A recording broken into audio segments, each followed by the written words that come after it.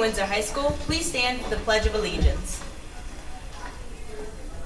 I pledge allegiance to the flag of the United States of America and to the republic for which it stands, one nation, under God, indivisible, with liberty and justice for all.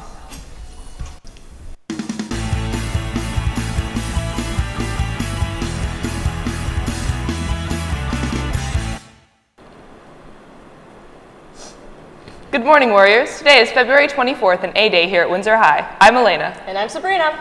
February is Black History Month. Today in 1864, Rebecca Lee Crumpler became the first black woman to earn a medical degree by graduating from the New England Female Medical College. This week is Staff Spirit Week. Today, teachers are dressing as their nationality. The winning department at the end of the week will receive a free pizza lunch. So good luck, teachers. AMC testing will take place in the library during Block 4 on February 25th, so the library will be unavailable for student use during Block 4. Study hall students must report to and remain in their study halls. Attention FBLA and business students. Are you really interested in going on a fun-filled learning experience in New York City? If you are, now is the time to step up and meet your obligations. Those students interested in going on the New York City trip, it is time to pay up or the trip will be canceled. Those of you who brought in a permission slip, please see Ms. Defoe and or Ms. Wellington to make payments. Having this field trip is dependent on students paying. Team Paragon, Windsor Public Schools robotics team, will be competing at the Pioneer Valley competition at Mass Mutual Center in Waterbury 11 days from now. This is a great opportunity to watch 36 high schools from all around New England compete in a sport that is nothing like you've ever seen before. It's free, so come out and support the team.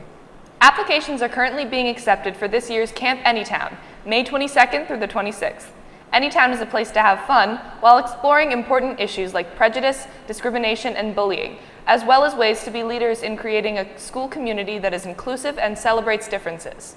It is open to all students in grades 9 through 11. See Mrs. Green in the library for an application or talk to a member of the Action Club for information. Students who are taking the AMC math test on Wednesday are to report to the library at the start of Block 4B Wednesday afternoon. The WHS Drama Club and the Curtain Goes Up Productions will be presenting the winter performance of The Trial of Goldilocks on Friday, March 6th and Saturday, March 7th in the WHS Auditorium. Curtain is at 7 o'clock.